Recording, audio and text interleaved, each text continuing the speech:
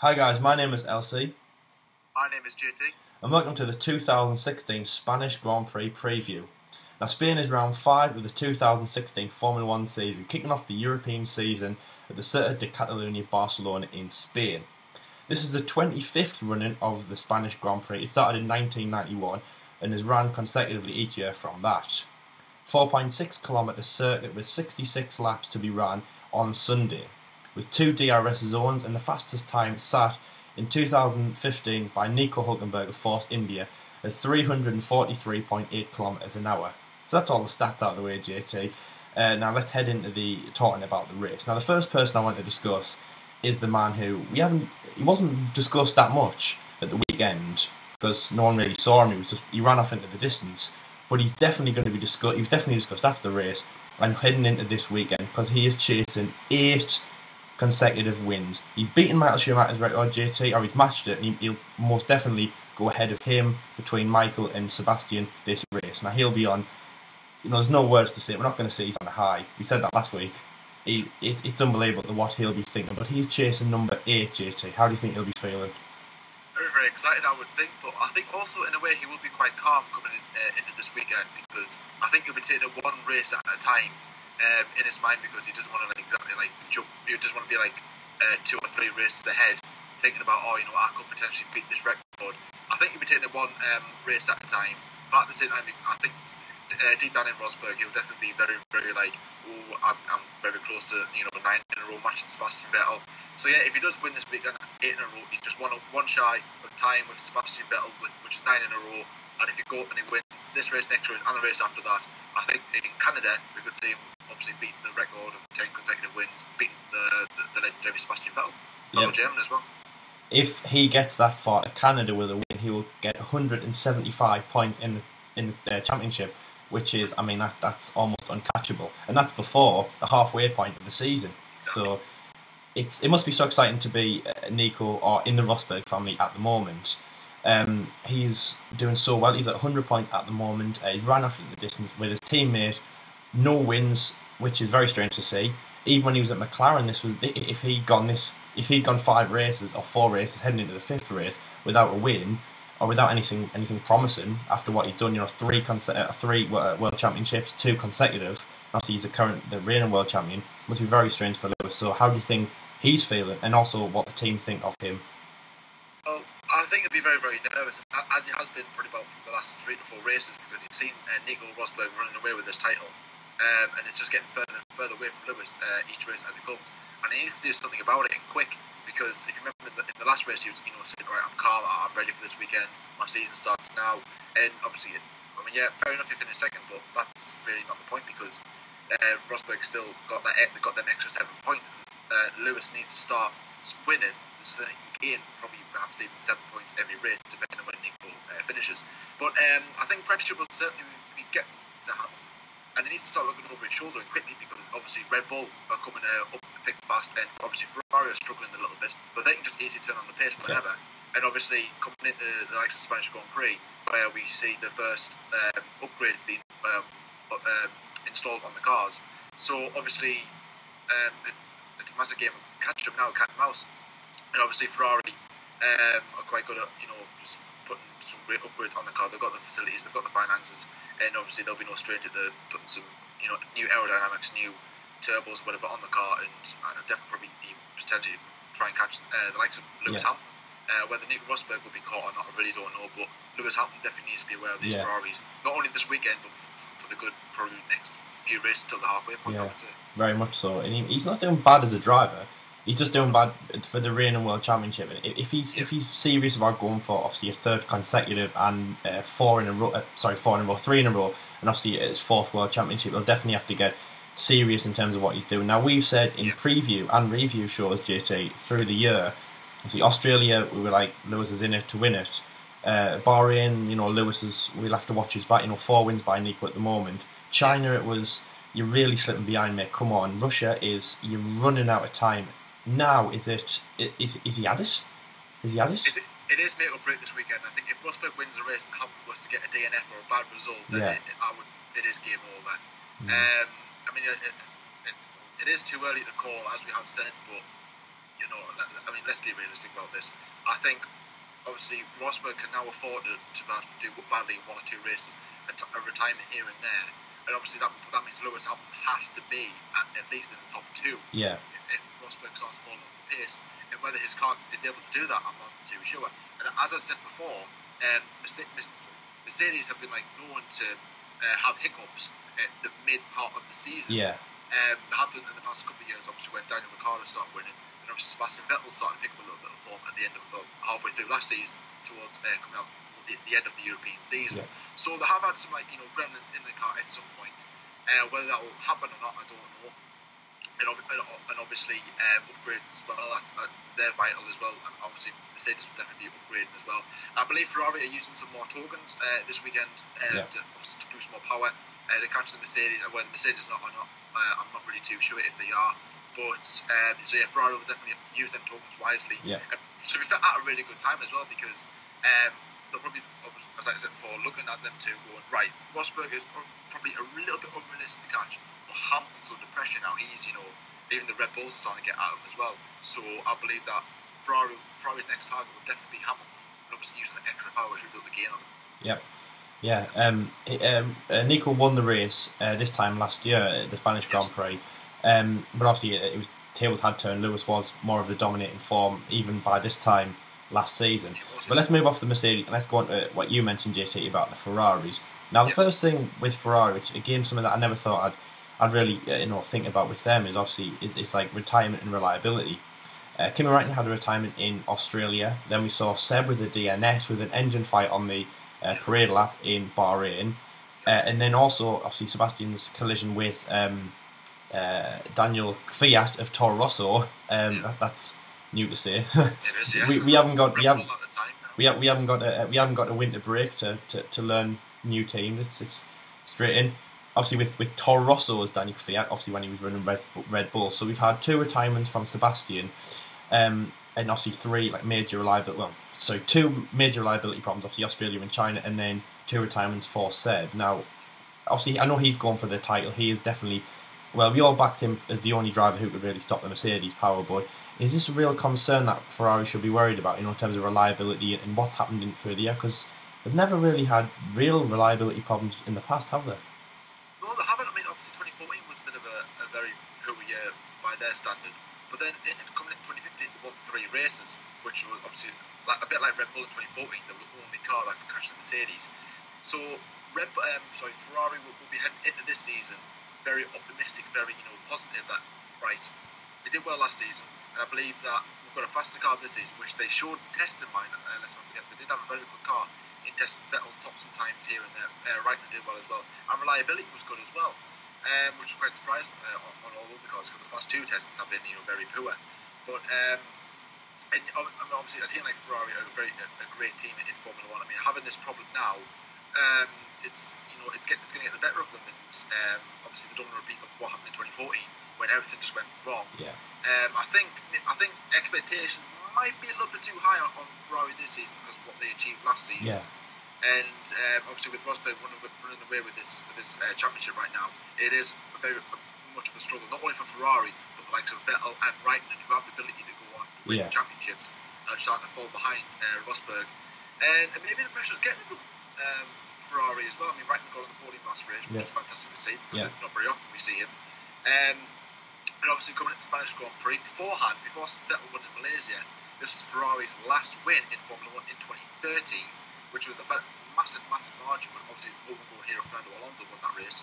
Um, and obviously, the, the, about a year later, a year and a half later, the, the final win again was Sebastian Vettel. So, um, and obviously, they don't want to they, don't want to repeat that fate. Say if he was to win this weekend, then have like another massive long gap. Yeah. Wait, or like, but like what they do now. I think the last win was Singapore 2015. So it has been already been a long way already, considering the, you know the pace of their car Yeah, yeah. and um, you know they definitely need to put up their ideas, but rather now now rather than later. And obviously we'll see what the, what they apply this weekend. I believe they're going for a new front wing, and as, as like I said before, Yeah. um, engine well to boost their power. But Yep. I think um, we'll, we'll see we'll see how it goes this weekend for Ferrari. Yeah. We'll judge probably the next couple of races into, into the week uh, into the European season. Uh, coming into Canada and obviously the likes of the, the European Grand Prix, then Yeah. obviously the British Grand Prix, Yeah. and we'll probably judge them probably around that stage. Yeah, yeah, that'd be And Ferrari definitely made a pro. I mean, they've done. They had. A, they've had a good start of the season. Don't get us wrong. You know, three out of four podiums. Obviously, a podium for Kimi in, in Bahrain. Uh, a podium for Sebastian in, in China after his collision with uh, Toro Rosso's Danny Kvyat. He makes an appearance again when he was with Red Bull. I mean, um, and then obviously Kimi's podium in Russia as well, second podium of the year. Uh, so they're definitely making a progression. Let's see how they do in Spain. Obviously, I'm I'm, I'm supporting Ferrari in this video, as you can see. Um, and yeah, I mean, obviously, Ferrari definitely they, they will be they should be a big challenger to Mercedes at the moment, or even Yeah. Nico as well. It's maybe Lewis isn't you know on, on, on their goals of what to chase down, but Nico definitely. So let's move on to the third team, JT, which I know you want to talk about is Red Bull. Now, obviously, we've got a man, 18 years old, who is in his new overalls for the first time in his life. It's Max Verstappen at Red Bull. Let's start with him uh, out of the two drivers. How can what can he do in this race? His first race, he needs to impress, doesn't he? Definitely, I, I have every bit of faith in him. You know what I mean? But um, he, do, he does need to be, be focused. You know, don't be like all like immature about it. You know, or I'm at a big team. You know, they chose me over my teammate and stuff Yeah. like that. He needs to keep his, uh, his feet firmly on the ground. Um, for the rest of the season, I would say let's be professional about this. Mm. And obviously, I mean, having a dad like Jos Verstappen, who, I, who like I said before, is an old school racer, so he'll be teaching Max. Yeah. You know, right? This is how you drive. This is how you respect other drivers as well Yeah. and be professional about because you can obviously see in his interviews. I mean, I've seen a couple of, people in, in interviews when they did like mid-season testing at Silverstone or pre-season testing at Barcelona. You know, the young uh, guns who are in GP2 Yeah. testing drivers and stuff like that, doing interviews.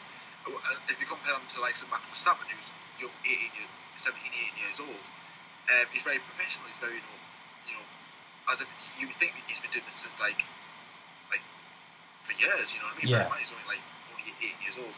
Um, and I'm, I'll be gunning for gunning for him this, this weekend. And obviously, as we said before in, um, F, in the F1 debate episode 11 uh, yesterday, we um, said that maybe the pressure might get him. Obviously, we'll, try, obviously he'll try not to um, get uh, uh, let that get to him because obviously filling in for a driver who pretty much shouldn't, shouldn't have been really replaced in my opinion. Yeah, Very, very, very controversial decision. So, Yeah. And obviously, everyone's expecting a lot from him as Yeah. well, so that'll be added as well. And driving for a team like Red Bull, Yeah. so he's got a lot of expectations riding on his shoulders. And I will see how professional he can be this weekend if he can prove critics wrong and just prove to everybody right. Yes, I, I might be only 18 years old, but I am a professional driver Yeah. can, you know, win championships, win races, and do Yeah. uh, well for well for the sport. Yep. Just as JT mentioned there, um, please catch F1 Debate episode 11 where we discuss all this. It's on the screen at the moment. It should be. Um, uh, yeah, obviously not, we go, in, LC should just go back to school and We- do IT or we go into so much detail about that. It's a, it's an hour long episode. Uh, we've had many views at the moment, many likes. Um, so people are definitely just keep, keep it. Obviously, we have a lot of uh, what we talk about that. So Max discussed him in Red Bull. Let's talk about his counterpart, or the guy that he's replaced, JT. Uh, Daniel Kvyat. His uh, it is first race for Toro Rosso this season. It's almost strange because uh, I saw a photo today on Facebook, and it was like, do people think it's 2014? Does he think it's 2014? Oh no, wait, it's 2016 because he's back in the Toro Rosso. So his head, so his face will. I mean, he'll, his face will be like his face look like sin. He will be feeling like terrible. JT. He's back at a his sister team at a lower team. At, if I was Daniel Kvyat, I would I would raise hell. But uh, obviously he can't. He's got to be professional because he's on telly. But how will he be feeling? How will he be feeling? And then how do you think that will hinder his performance? Well, th- from what we've heard, he'll be disappointed because obviously being demoted after doing uh, two, well, not two bad races, but two, you know, wrong decisions, let's Yeah. say, on the track, causing collisions and stuff. Which, um, obviously, safety in Formula One is a massive thing, and if he keeps on doing that, then obviously, no wonder that they've said, right, you're going to have to be demoted. But after, I mean, one little incident in, in China, then goes and does it in Russia when he didn't really cause any serious injuries um, and, and stuff like that. And I mean, um, I believe, in a way, he'll be kicking himself because it's like, you know, that's my chance. That could be my chance gone Yeah, coming into this weekend, and obviously going back to uh, Toro Rosso. I mean, I seen a picture on on his Instagram, on the official Toro Rosso Instagram, and um, it's a picture of him and Franz Tost, and they're both like, you know, happy, Oh yeah, uh, smiley, yeah. smiley faces, and I'm going, deep down, you are absolutely devastated, Danny, and I, I, I feel like just looking at that picture, you're like, what's happened? Yeah, yeah. what, what is going on? So, I mean, pressure will be on on him as well because it'd be like if he doesn't d- deliver at Toro Rosso then for the rest of this season, and then the the head bosses might go right. Sorry, Danny, but I don't want you in anymore. Yeah, we have yeah. to get someone else in. So, and obviously, with them being promoted to Red Bull after the 2014 season, Yeah. that means they're expecting some like good results from him Yeah, because obviously being promoted like being, being promoted like that, they obviously obviously see some promise in him, and um, obviously you, you have to try and keep clean from um, the likes of, of, of, of the Red Bulls. yeah, yeah. Because obviously, I mean, we've said that before, where anything could happen if, if we were to collide with the likes of Ricardo or, or Verstappen, that would be very. Or Sebastian. Very, I, I reckon he hasn't. I reckon he hasn't thought about him. he, he probably smash it the Vettel again. If, if he does, I'll probably just say right, Danny. Sorry. You're right. I, I, would, I would go now, get someone else in. I'm, this is probably the most. God, I can't wait for this weekend. Very, very, very exciting weekend that we're going to see. That'll be interesting. even though, I mean, even though, and obviously, remember, we, we did talk about this in yesterday's episode, so please catch it. We talked about them. I mean, I'm not going to go into too much detail, but I said Pastor, uh, Romain, they always used to collide with someone at the start, or almost always. Obviously, with obviously everyone knows Romain's uh, crash that he caused in Spa 2012 when he, he, he, took out Alonso Hamilton. Uh, and was a well Perez was later retired, but he was in the crash as well. Um, and yeah, obviously everyone remembers that, and that was strange. But sorry, I, I keep obviously it's a massive topic. I always want to keep talking about it. This is a really, really big topic that we do want to see. It is. But um, yeah, this is the Spanish Grand Prix preview, and obviously, if you do want to see like uh, episode 11 where we talk about it, discuss it more, Yeah. let us know your opinion as well, all about the situation, what you think's going on. Yeah. Then check it out. Uh, it was on. It was on yesterday. Uh, it's a really, it's a really good hit. It's one of, it's one of our most popular videos we've Yeah. ever had. Go and go and check it out. I mean, yes, it is about an hour long, but trust me, it is a, it is worth a watch. It is great. Um, but we can't talk about the Spanish Grand Prix without talking about one man in particular, homegrown hero Fernando Alonso Yes. in the McLaren. Uh, last race they did quite well. Uh, well, they did very well. Let, let's say six, six and tenth. Fernando Alonso finishing sixth, Jenson Button finishing tenth. Coming into the Spanish Grand Prix, Fernando Alonso in front of his home, home crowd. He'll be he'll be ready for it. He's won this race twice. Obviously, he's not going to win it this season unless everybody crashes out, which would be very very odd to see. Daniel might take them all out. By, caused by. So there we go. Right, everyone's crashed out. Fernando Alonso wins the race. McLaren's finally won a race like, like forever. Um, I mean, this obviously McLaren have got a faster car than what they had last season and the season before, let's say. Um, so the car and, and, and, it is reliable. Let's say I mean, the the car did put out a couple of races ago, but obviously they have scored more points than they Yeah. have already by this time last season. So Fernando Alonso very very optimistic, very very um, in a positive mood from the last Yeah. race. He's coming this weekend. Home crowd. He's you know it's, it's all about Fernando Alonso. Do you think that he can deliver this weekend and um, get McLaren some good, some a good Yeah. points um, him and his team uh, in front in front of his home crowd? Um, how, how do you think he'll do this weekend? I really hope um, he, he performed. He does an amazing performance. I mean, I know that Fernando, as a driver, obviously he's still got loads there. He's still got loads to give to the sport. So as a driver, he'll be he's unbelievable. You know, he'll make the, he'll make you know the best times he can. He will deliver everything that he has. He'll put everything, you know, 100%, 110% on the line. But obviously, it's depending on how fast the car is. Now, McLaren uh, will get upgrades like many of the teams. I'm not sure what they're getting. I'm not sure how many totals they're using on the engine and things like that. But obviously, you know, they're definitely growing. As, as you said, JT, you know, they're stronger from last season. I do hope that. Obviously, I hope that he gets into Q3 uh, in in, in, in uh, uh, qualifying on the Saturday, and yeah, I hope he does a great um, result. Now, in terms of in terms of how they'll move up on the grid, and obviously we'll go into the tyres. We'll mention that uh, a bit a little later in the show, but obviously that's you know pit stops and strategy does play in key in Spain. Or that's for example, that's how we saw Pastor Maldonado, you know, outflank Fernando Alonso in, in 2012 when Pastor won the race. Um, but back to McLaren, I think the team will do everything they can to, to help him win the race. I say he's um, the one of two Spanish drivers on the grid. Obviously, unfortunately for Carlos, he's probably not going to be chasing a win. It'd be great if Fernando was, and he'll, you know, again like a bit like Kimi and a bit like Jensen. If he if this is going to be his last season in Formula One JT, he will want to go out with a bang. Unfortunately, he might not be able to deliver, but I know that he will want to give everything. And even a, even a second place will be an improvement, but he'll still be kicking himself about that, I imagine, after the race. But uh, I, I really, for both McLarens as well, I hope they both get into Q3. Uh, I hope, I say, both, both in the points like they were in Russia, uh, which was fantastic to see. Absolutely great, you know, improvement that they're making so much. Obviously, I know the Honda engine is unreliable, but especially after from last season, and it, you know, it's, it's made improvements this season, but it's not going to be on top. Uh, I really hope that they do a solid performance, both McLarens, because I'm really, I really want to see them do, especially in the European season. I I want to see them do well. Definitely. Um, I mean, obviously, obviously Fernando Alonso, as I said before, won this race twice. Yeah. Um, I think once, I think it was, his first win was in 2006, I believe. Yeah. And the second win was in 2013, which I, which I believe was probably more famous in 2013. Yeah. I don't know why, because uh, obviously having his first win after coming after winning, winning one championship, going for another one. Um, his, his first Spanish driver to win it to win his home race, which was absolutely, absolutely a massive, massive achievement. And coming in at Ferrari in the um, obviously 2010, uh, 2013, he hadn't won a race in a while, and he, he finally wins in a, in a legendary car, and he, he did it so well. Um, obviously, after being very, very close to winning the championship last season, uh, they had a bit of a poor car in 2012. Bearing in Yeah. mind they nearly won the Fernando, Fernando Alonso nearly won the championship, but it wasn't as, as quick as what uh, people would have thought would have Yeah. been. Uh, 2013 had a much better car. Fernando Alonso comes in, domin- dominates the race, uh, win, wins it home crowd. He's, he's very, very emotional. Obviously, holds up the Spanish flag, um, and obviously, unfortunately, that was his last, that was his last win in Formula One. Yeah. And um, obviously, whether obviously he won't win this weekend, um, and whether whether he win stay in Formula One long enough to win another one, I don't know. But I would like to see him win Yeah. one more, just Yeah, to say, right, that, that's me, that's me gone as well. But um, speaking of very, very, very famous moments, we've, we've seen our fair share of uh, famous moments, uh, especially in our debut season in 1991, Yeah. where we've seen obviously a very famous scene where you've got Nigel Mansell uh, and Senna co- gunning down uh, the straight coming in, coming to the one, you know, sparks everywhere. You can see the aerodynamic, the wind flow on the rear wings. Very, very close racing. Absolutely fantastic. What- That race was won by uh, Nigel Mansell.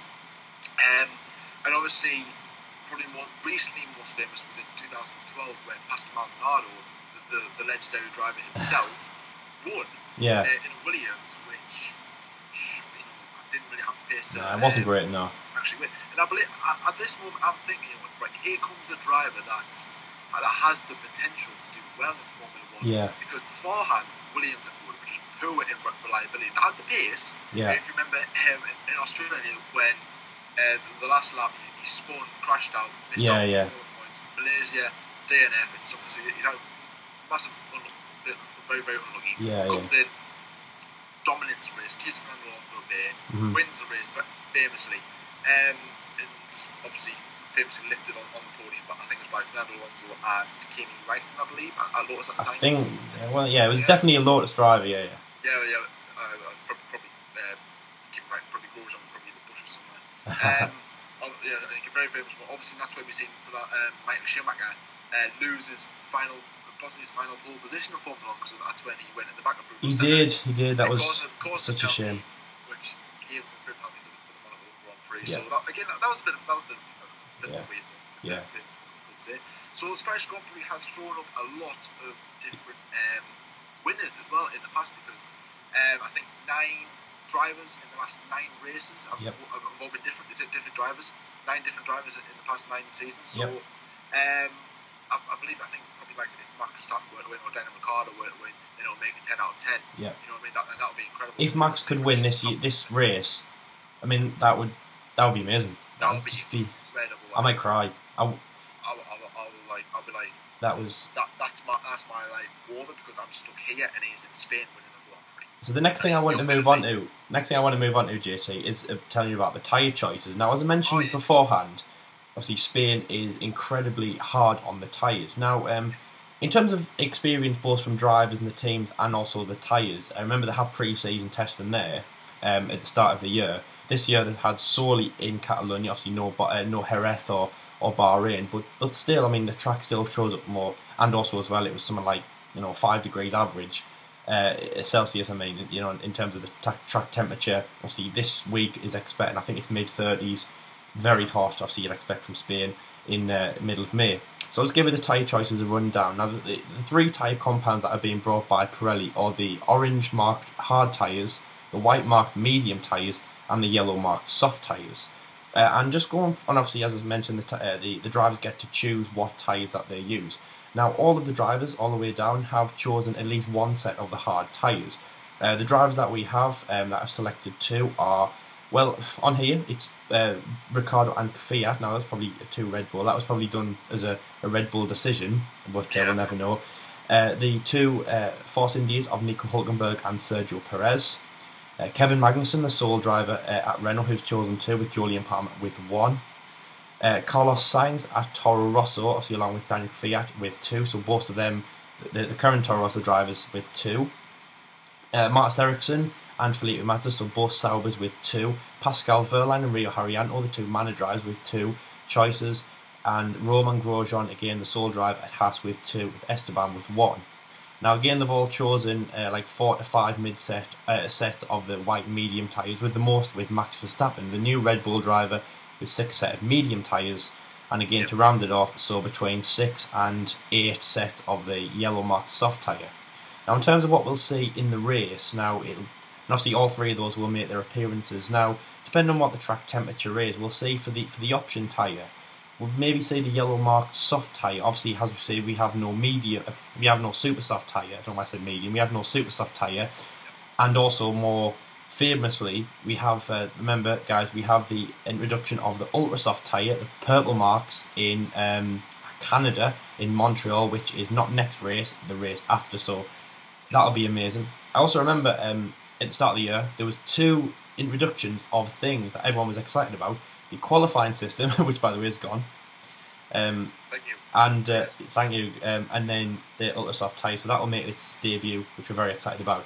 But this race, it's very hard on the tyres, and as I said to JT in, in, uh, at the start of the video, strategy is key. That is one of the reasons why Pastor won his race and Williams got a tip top in 2012, and yeah, that's another reason why I said McLaren might be on top. You know, if they get the the strategy right, because in terms of in terms of raw speed to strategy and, and, and, and tire saving and things like that, it definitely I'd say it more favours in terms of you know the skills. It definitely favours more the, the tire saving and, and the strategies. Big play. Um, yeah, so it'll be fantastic to see who gets it right. It's really who gets who gets the strategy right this week, NJT, and that's what I'm really excited to see. Oh yeah, definitely. I mean, obviously, tyres are tyre strategy in that always key. And obviously, as you were saying about the, the, the teams choosing the harder tyres, which obviously would be the slower teams, trying to like go for a, possibly, I think it's a two stop. That, yeah. That will try and go for it in Spain. Yeah. And obviously, the fast teams will probably go for a three stop. Yeah. Um, we'll, we'll only see that the hard tyre the hard tyre appear in um, uh, sorry the race. And obviously, quali- well, yeah, the, the race. Yeah. Whereas obviously practice in, in qualifying, we'll see like the the white and yeah, soft. Yeah, very much the option, white, the, the sprint tyre, yeah. Yeah. Yeah, I'm just trying to get learn the track of the tyres. Uh, as you were saying before, because obviously when the, when the test there, uh, which happened in the past you know, many, many, many years in Catalonia, the, the track temperature is just not hot enough yeah. to actually like look at the tyres and go, right, how they're going to react in this. Yeah. So, I mean, going, going to Catalonia, yes, you're learning the car, but in terms of the tyres, they're not, re- they're not going to know how they're going to react. Yeah. Because as you were saying, about 30, 30 degrees, um, in the air temperature, obviously it'll be hot on the track. So we don't know how the, how the tyres are going to wear, how quickly they're going to wear, because obviously it's different compound this year.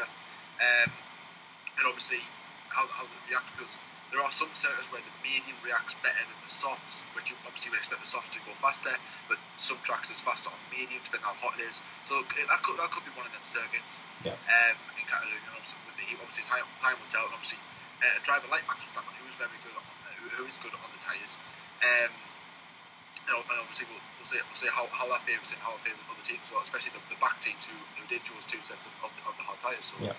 maybe it will be interesting to see what, what teams go with uh, this weekend. So the final question, JT, and the most important. By the way, guys, we'll put our predictions on the page uh, very soon. But uh, most important question: Who's going to win? Oh, there's only one man coming, isn't it? Rosberg at the moment. Um, I would you know, I'll be daft not to say. Yeah, uh, yeah. Rosberg. Um, second, second then. Second. That's that. Now that is the million dollar question, isn't it? Normally it would be like, well, first race million dollar question. Second yeah. place the million dollar question because how reliability Vettel reliability is poor. They're the drivers you expect. So I'm gonna go with Hamilton in second and third place. It literally could be anybody. It, it could be Ricciardo, Kimi, Massa, uh, Verstappen. Yeah. No. Um, oh, let's say I'm going to play safe and go with Vettel. I would say that. Do you know what, JT? That's my top three. I'm going to. Obviously, Rosberg has to win. I mean, yeah, yeah. yeah Second place, I'm going to go for. Um, I'm going to go Hamilton again. I mean, I know he's not winning because that's Rosberg, but he is pulling out some unbelievable comebacks. In China, he had his he, he started at the back of the grid behind Pascal Wehrlein, or maybe in front. Oh well, next to Pascal Wehrlein at the back. and then finished seventh place in the race. He's had some, and also tenth place. It came from tenth place to second at the uh, Russian Grand Prix. So he's done some fantastic comebacks. I would say second for this. Even if, even if like 2012 GT, he, he gets excluded to the back of the grid, which again probably helped Pastor. But um, whatever happens to Lewis, this in in in uh, quali, I reckon he'll come second in the race. And also, I'm gonna go in. I'm gonna go out on a limb, even more so JT, and I'm gonna say Verstappen third. Is I- I just have I, I, an- I really, I really hope you're I, right. I really do. I really hope I'm right. Uh, I hope that's, that'll be great. He, if he does that, I mean, I say his, he, basically, if he does this, JT, you always, we always talk about Max might will, will most definitely become Formula One world champion. If he does it this year, sorry, if he does it in this race, if he comes third in this race, even a third place, that's it. He's he's won the world championship one year. By the way, guys, just as a start, he's got five years.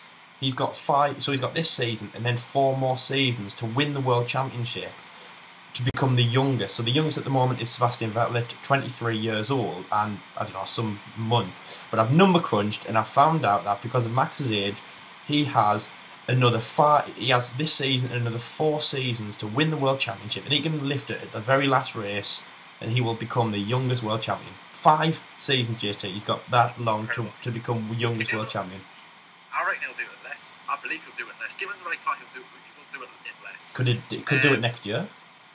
Possibly. I mean, obviously, the move, the, the, the move to Red Bull is do, is done for next Yeah. season. Definitely, it's it's sealed. But unless uh, uh, unless he wasn't approved, but I, believe that the, the deal is done. Uh, obviously, you'll partner partner Ricciardo next season. Where, where, where Danny Kvyat will be, I really don't know. He might he might even join Red Bull as a, as a, as a testing driver. Could do, Uh, yeah. depending on how he delivers, which Yeah. would be like very, very annoying. But um, so yeah, I mean, yeah, as you were saying, if he wants to do, I mean, get third um, on the on the podium uh, this weekend, I wouldn't necessarily count your chickens early uh, with, with this kid. Obviously, why you had chickens, I don't know. Because obviously, I mean, if you look at Haas, they had a fantastic start to the season. yeah. Uh, you know what I mean? Very, very, you know, impressive. People were like, right, this this team's going to be the next big thing. Romain Grosjean is going to win some races. Now they've got a bit quiet. Scored some points last race. Yeah. I mean, obviously not as good and not as good performance as what they had been at the start of the season. So I, I, I believe if Max Verstappen were to get on the podium, people would jump immediately to the conclusion he's going to be world champion uh, this season. He's Yeah. going to win the next. He's going to win every single race from now to the end of the season. Because that's what pundits do. That's what media's do. We need to be realistic about this. We need to be honest. That if Max Verstappen does get on the podium, let's be calm up until the end of the Mm, season. I don't know. Because It shows a lot though. it shows promising. Of, of, of course, it. It shows Yeah. that you know he has the ability. But then, I mean, he's still young at the end of the day, which showed because um, if you remember last season, at the start of the season, uh, we were like, well, "This kid's good." And, you know, obviously everyone was criticising him of his age, but you know, he's young enough. He's all right. And obviously, Max Verstappen is on, is on the high.